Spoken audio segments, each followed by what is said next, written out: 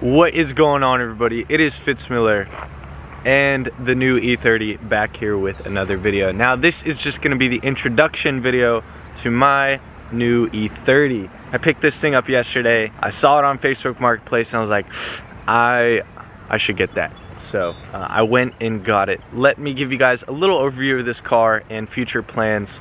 Let's get right in today's video. This is my 1987, I believe, E30 sporting the M20 as well as a 5-speed manual transmission. It is indeed on some BBS style 5s.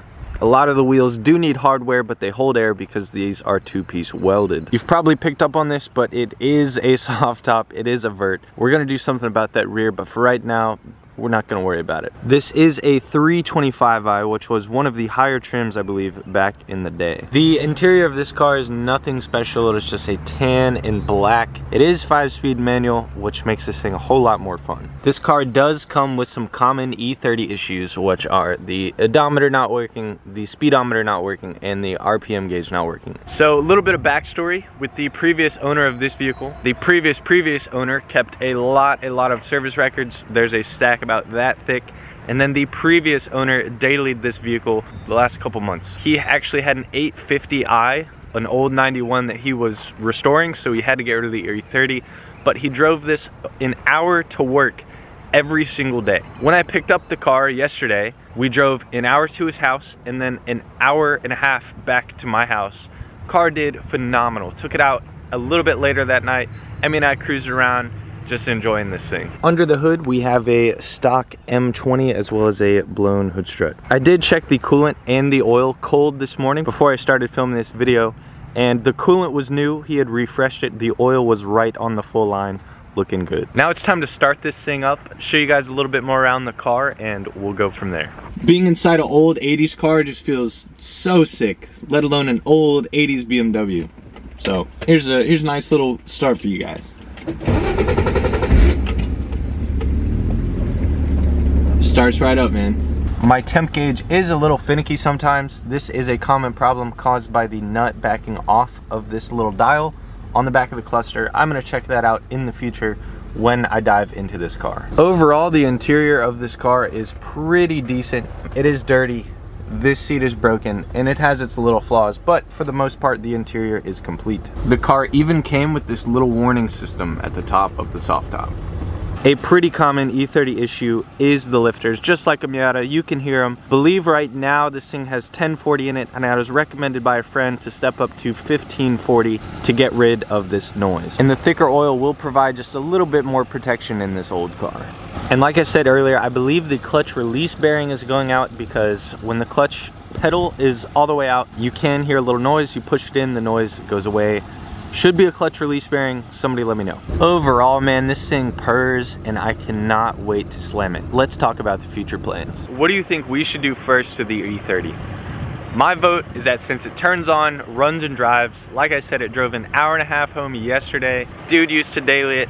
I think after this video, I should go home, order bigger engine and trans mounts, so the mount and a spacer all in one, and then we're gonna order some coilovers and absolutely dump this thing. I do need to fix the soft top in the future, but I'm trying to be skating in this soft top, dude, skating in the vert.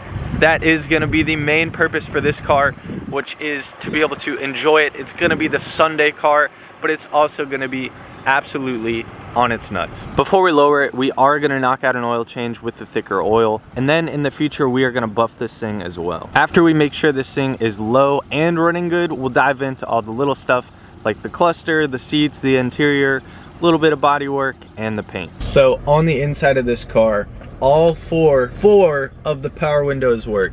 If you guys will notice, there is no pillar.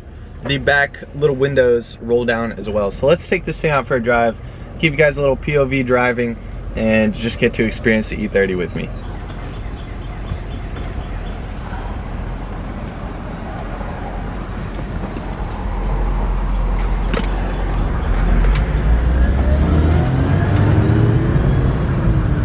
Shifts like butter, drives like butter as well.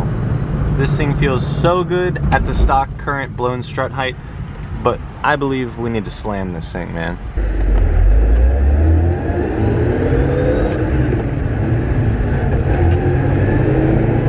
My foot gets caught on the carpet sometimes with the clutch, so I'm not that bad at driving, I promise. But dude, this thing feels so good, so smooth driving. And mind you, this car is from 1987, dude. 1987. This car is almost double my age. But anyways, guys, can't complain. Super happy I picked this thing up. Throttle response is beautiful. The brakes are beautiful. The steering is absolutely beautiful.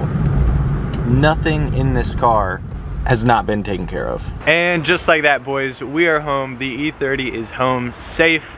We got some oil, stop by Advance on the way home, and that is gonna be it for today's video. But if you guys have any questions, any comments, if you guys have any tips, any things to check for, anything I should know about E30s, please let me know. This has been Fitz, the new project, and Unos, back here with another video, and we will see you guys in the next one.